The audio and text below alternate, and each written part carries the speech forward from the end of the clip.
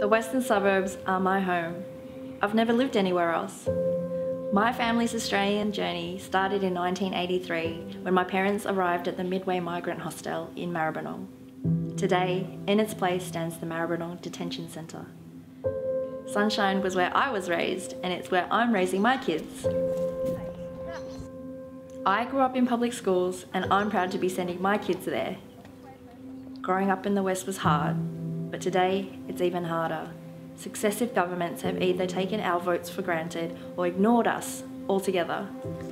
Our neighbourhoods are overrun with trucks, spewing pollution into the air we breathe. Children in the West suffer from chronic asthma at higher rates than anywhere else in Victoria. Labor tells us that their mega toll road will fix air pollution, but their own modelling shows it just shifts it from one street to another.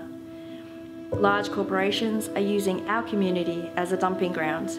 Residents have to fight their own governments to keep tips from tripling in size. Our public transport, hospitals, schools, and sporting facilities are underfunded and run down. How do we let this happen? I love the West, but we are being left behind and something needs to change. We want our government to work for all of us and not take our votes for granted. We want a government to put people over profits to build trains and not toll roads. That is being surrendered to a tolling company whose business model profits from congestion. This is perverse. The West is Melbourne's fastest growing region. Now, more than ever, we need our voices to be heard. I'm Huong Truong.